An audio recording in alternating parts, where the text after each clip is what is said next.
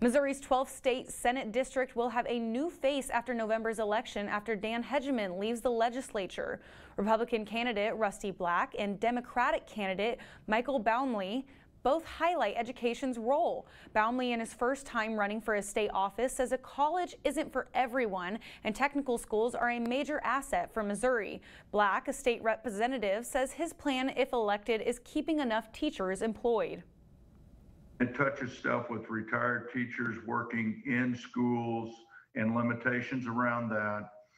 Trying to get uh, older teachers to stay in the classroom a little bit longer as we're trying to build up a, a better supply of people coming in to teach. The tools that I received from my high school, from my college, from my additional college have, have helped me to build more and do more.